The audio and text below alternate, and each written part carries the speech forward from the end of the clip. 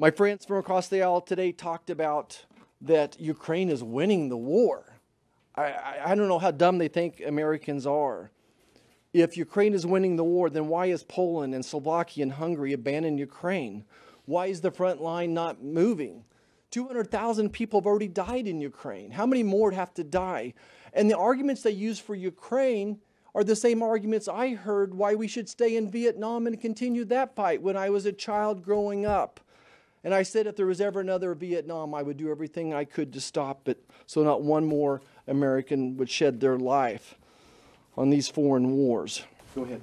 Um, you made the comparison of Ukraine to Vietnam, but uh, as some Republicans who support Ukraine funding, like Senator Graham has mentioned, um, you know, there are not Americans dying in Ukraine. There are no American troops on the ground in, in Ukraine.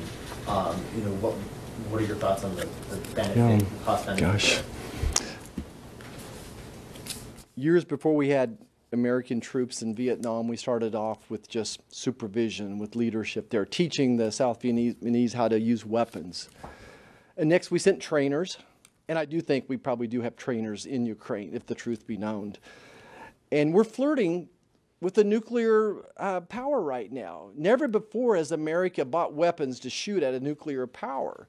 So uh, to me, this, this smells so much like Vietnam. What's the next step?